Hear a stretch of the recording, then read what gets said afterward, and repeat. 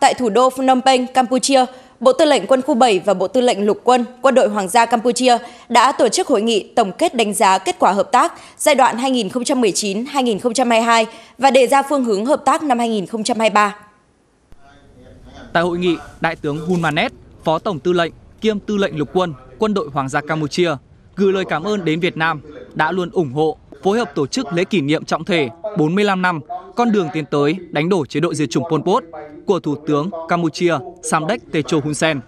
đã góp phần giáo dục các thế hệ nhân dân hai nước về truyền thống đoàn kết giữa hai nước láng giềng, luôn kề vai sát cánh cùng nhau phát triển.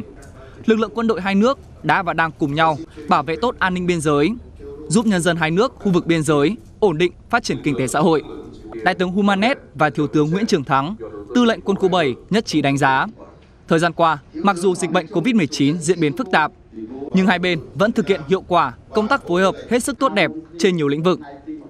Về phương hướng hợp tác trong thời gian tới, hai bên nhất trí tiếp tục phối hợp chặt chẽ, triển khai toàn diện các hoạt động hợp tác được xác định trong kế hoạch và nghị định thư hợp tác năm 2022 giữa Bộ Quốc phòng hai nước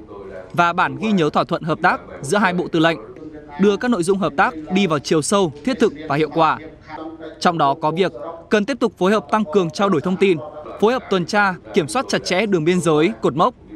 chủ động phối hợp đấu tranh phòng chống các loại tội phạm xuyên biên giới, vượt biên trái phép, nhập cư bất hợp pháp, đẩy mạnh công tác tuyên truyền, vận động nhân dân khu vực hai bên biên giới, thực hiện nghiêm các thỏa thuận của chính phủ, tích cực tham mưu hoàn thành việc cắm mốc giữa hai nước, trong đó có các tỉnh giáp biên thuộc quân khu 7.